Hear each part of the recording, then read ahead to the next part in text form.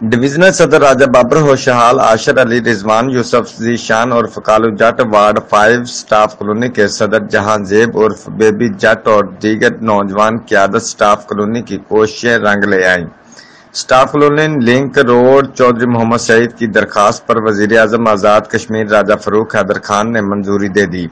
इस मौका पर डिविजनल सदर राजा बाबर होशाल का कहना था कि इस सड़क को खंडरात का मंजर पेश करते हुए एक अरसा होने को था।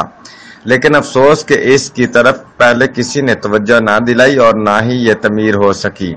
मगर बतौर डिविजनल सदर इस बात का अहद किया था कि माजी की सियासत रवायात को ख़त्म करते हुए अपने ज़ाती मफाद की बजाय अवामुन्नास के मुश्तर मसाइल के हल के लिए हर मुमकिन कोशिश करेंगे, जिसकी एक किरण स्टाफ कॉलोनी रोड की मंजूरी है। सदर वार्ड फाइव, जहाँ जेब उर्फ़ बेबी जट का कहना था कि अहलिया ने स्टाफ कॉलोनी इतमान रखें। इसी तरह कोशिश जारी रखते हुए तमाम मसाइल को हल करने के लिए हर मुमकिन कोशिश करेंगे।